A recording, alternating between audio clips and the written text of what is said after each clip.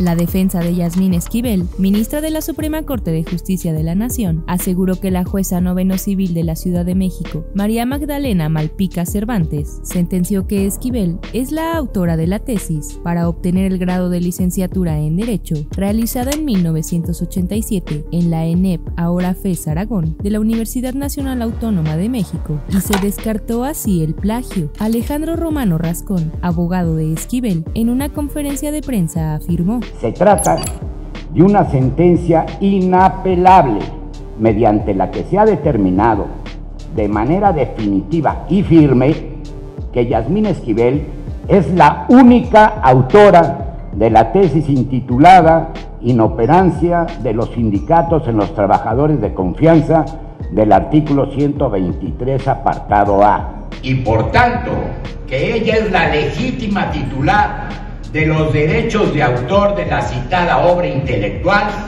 por lo que nadie, nadie más puede ostentarse como autor de la misma.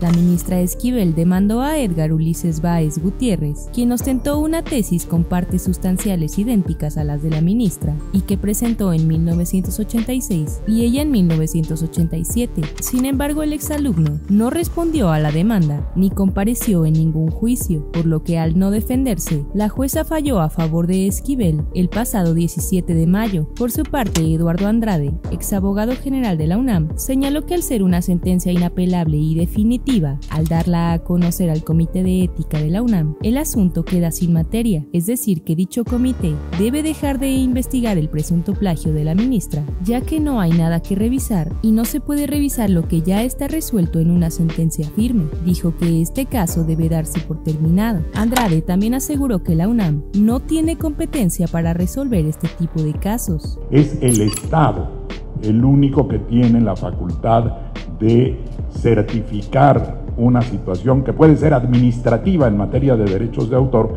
o judicial, es el Poder Judicial el único competente para poder dejar en claro quién en caso de conflicto es el autor o autora de un documento que ha cuestionado, que se ha cuestionado su legalidad.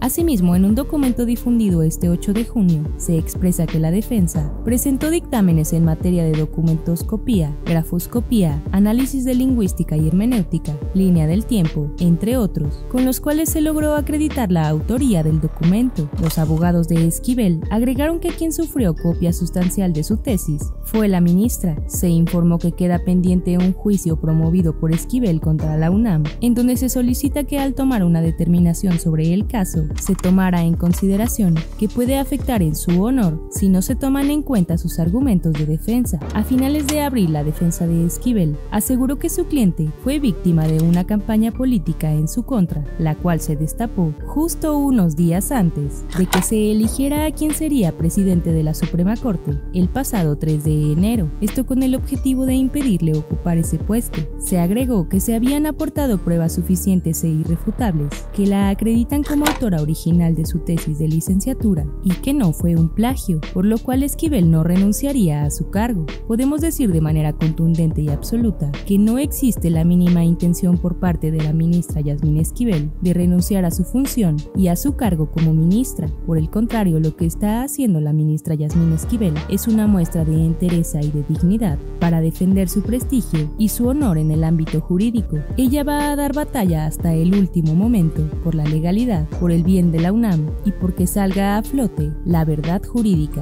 Por su parte, la UNAM ya emitió un comunicado en el que aseguró que esta sentencia no le impide continuar con su investigación contra Esquivel. Asimismo, instó a la ministra a desistir de los recursos legales que ha promovido ante el Poder Judicial con el objetivo de obstaculizar y retardar los trabajos que realiza el Comité de Ética de la UNAM para determinar si incurrió o no en plagio. Pero ahora tú cuéntanos, ¿qué piensas de esta sentencia. ¿Qué opinas del posicionamiento de la UNAM? ¿Crees que Yasmín Esquivel sí plagió o que fue una campaña política en su contra? Te leemos en los comentarios.